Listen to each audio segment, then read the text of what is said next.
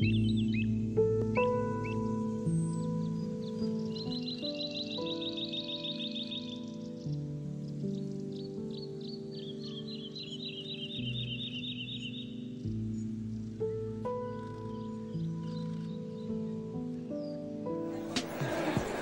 we're gonna start fitting. Come on, up the line, everyone.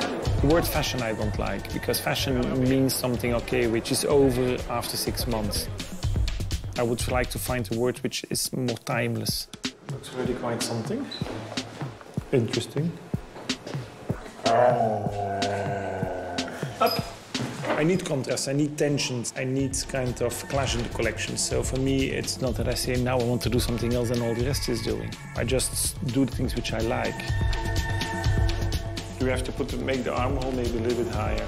The magic especially is that people can feel that it's done with kind of honesty, with a passion, and that it comes really from your heart. Voila. He loves fashion. He's not the usual fashion character, which I very much like.